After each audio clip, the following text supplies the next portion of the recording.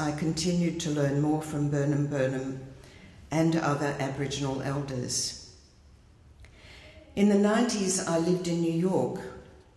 One Australia Day, I sat next to Burnum Burnum by chance at a lecture.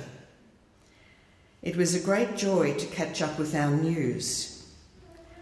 And it was this day when Burnum Burnum gave me the gift of this prayer and permission to use it in my interfaith work. I became very interested in other traditions, particularly when I lived in New York. My spiritual home there was the Cathedral of St. John the Divine, and it was the dean there who um, himself was very interested in other traditions. And so I experienced many religious leaders who came to New York, who spoke at the cathedral. Uh, I experienced many um, wonderful concerts put on by people of other traditions, and it opened me up to inquiring about other religions.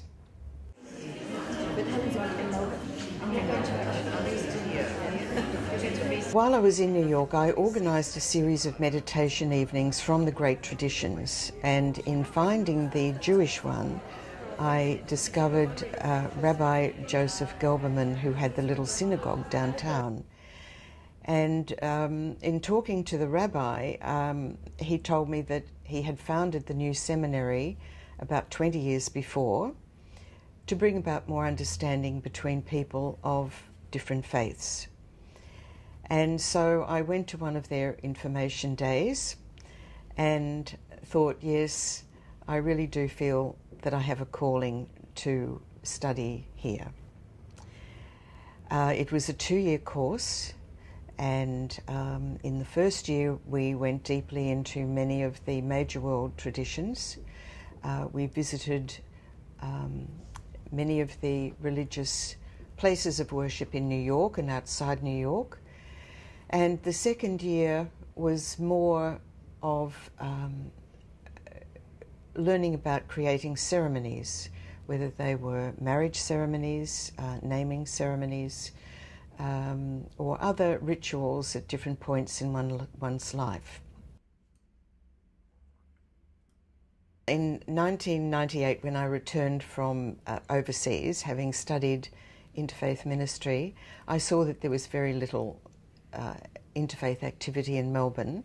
And so, with a group of like minded friends, we formed the Interfaith Centre of Melbourne to be virtually a full time centre to answer questions that people might have, to um, develop programs in the arts. The arts are a very powerful way of bringing about understanding, and uh, to uh, create interfaith ceremonies where people of different faiths could come together. And um, so that's what we've been virtually doing since um, 2000, really. I always say that my, my roots are in the Anglican tradition. That was the tradition I grew up in and I feel at home in. However, I do feel at home in many of the other traditions. Um, I can somehow accept that there are differences, major differences, but that's okay. Um, there is so much that we hold in common together, and, and that's the most important thing. We hold the values um, that are the same, whether it's love, truth, non-violence. An interesting thing is, happens when you uh, study and experience other traditions. It often gives you more insight into your own it can often make your own faith stronger. Uh, sometimes there's a fear that from some religious leaders that it might weaken your own faith. I don't think it does. It makes you question certain things, of course, but we can see things from a different angle, I think. And I just feel that if God is omnipotent, omniscient, why wouldn't that wisdom have been discovered all over the world in different cultures and not just in certain cultures. But I think it's when we say, well, our religion is really the only one and all the others are wrong, um, that we limit ourselves, we limit, we limit the divine. We might not call the divine God, but we limit the divine and say, well, you know, God only appeared to this group of people or that group of people. I don't know that, that what we do can stop world wars or anything like that, but just one example um, of changing people's perceptions. Um, back a few years ago, we brought out an art exhibition from the National Gallery of Jordan called Breaking the Veils Women Artists from the Islamic World. And there were about 64 artworks by 52 women from 21 Islamic countries.